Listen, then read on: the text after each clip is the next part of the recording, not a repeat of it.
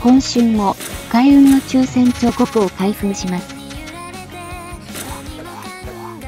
1、遊戯メダル。2、新春からむの冬石箱。3、鬼人城化石。4、遊戯メダル。5、装飾石に。